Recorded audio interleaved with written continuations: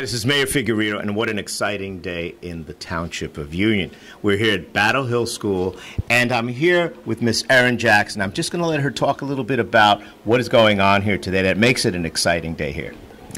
Hi, everyone. So we put together a wonderful career day for our students. Um, this was planned ahead of time, and we invited a lot of community members and parents, and we're very um, excited to have everyone uh, come around to explore different careers, and we're just thrilled that everyone came after a couple years of not having people around in the schools, and it's just wonderful um, vibe and wonderful atmosphere. So we're just excited for a fun day.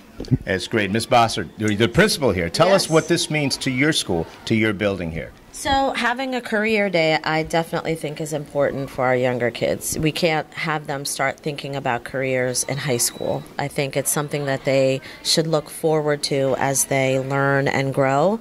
And if they see something that they, you know, meet someone that they like during the career day and they say to themselves, oh, wow, maybe this is what I'd like to do, it's something that we can enhance as a school um, and help them, you know, build their dreams and have that come to fruition for them. So I think it's important for them to have this experience so that they can think about what they would like to do when they get older. I, I- see some in there that I think are going to be the favorites. Mm-hmm. I'm betting on the acupuncturists 'cause the minute they say we're going to stick needles in you, Oh, yeah. that might intrigue them and say, well, what, what should we do that? But Right. Thank you both for the invitation. I thank you for asking me to come here, and uh, we look forward to meeting some of our future citizens in a bit. And just a side note, right behind you, mm-hmm. look where we're standing. Mm-hmm. This says, When I grow up, I want to be. So, this is a kindergarten classroom where the students drew what they would want to be and, and wrote about it. So, it's perfect transition into what we're doing today. Mm-hmm. And I want to thank Miss Jackson, too, for putting all this together. It's a lot of work, and she did it all.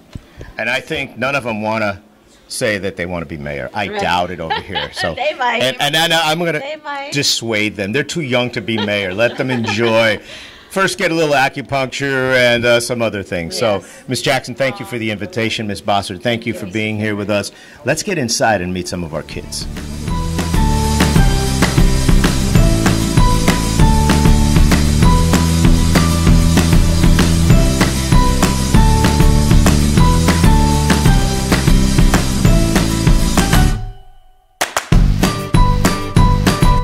So now that our table is almost empty, is the first chance we've gotten to have a talk with our officers here today. Tell us what this is about today for you as police officers in our township.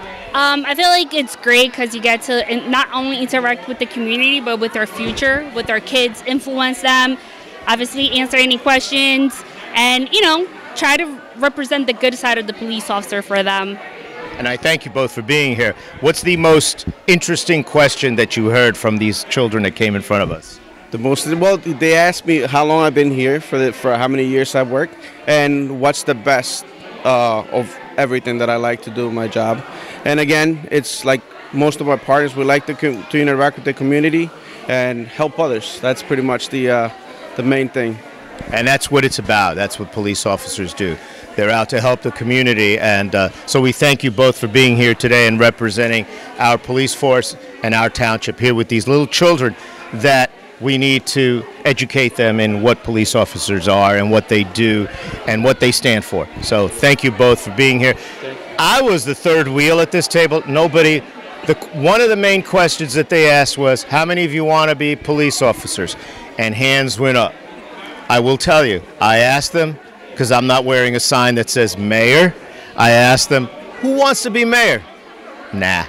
That was in the minority. Maybe I got one, two of them. So, uh, much more popular to be a police officer, and, uh, and it should be because they're the ones that keep our community safe. So, thank you both for being here today. Thank you. Great, great time with our children here.